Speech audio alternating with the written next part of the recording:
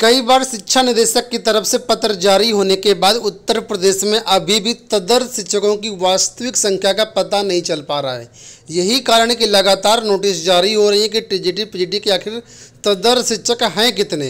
कितने कुल मिलाकर के तदर शिक्षक कार्यरत हैं? कितने ऐसे तदर शिक्षक हैं जो वेतन प्राप्त कर रहे हैं? कितने ऐसे तदर शिक्षक हैं जिनको वेतन नहीं मिल पा रहा है? लगातार सरकार के पास समस्या है और इसीलिए आज फिर से लेटर जारी किया गया है। यहाँ पर देखिए, चार बिंदु हैं जिन पर सूचनाएँ मांगी गई हैं और ये सूचनाएँ बोला गया निर्धारित प्रारूप पर हर हाल में 22 अगस्त 2022 तक अपने विशेष वाहक के माध्यम से दो प्रतियों में हस्ताक्षरी कार्यालय में उपलब्ध करवाएँ। अब पहली सूचना यहाँ पर यह मांगी गई है कि सात आठ तिरानवे से लेकर के पच्चीस एक निन्यानवे तक ऐसे कितने तदर शिक्षक हैं जो अल्पकालिक रूप से नियुक्त हैं और वेतन प्राप्त कर रहे हैं? पहली सूचना ये है।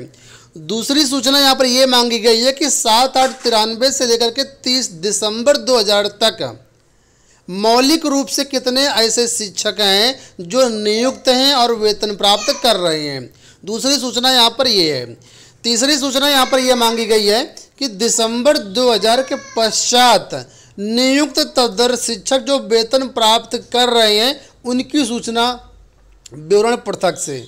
ठीक है, तीसरी सूचना यहाँ पर यह मांगी गई है, जो दिसंबर 2000 के पश्चात नियुक्त हुए और वर्तमान में वेतन प्राप्त करें उनकी सूचना। और चौथे पॉइंट पर यहाँ पर यह बोला गया है कि दिसंबर 2000 के पश्चात नियुक्त तदर्थ अध्यापक जो वेतन नहीं प्राप्त कर रहे हैं, उनकी सूचना मांगी गई है।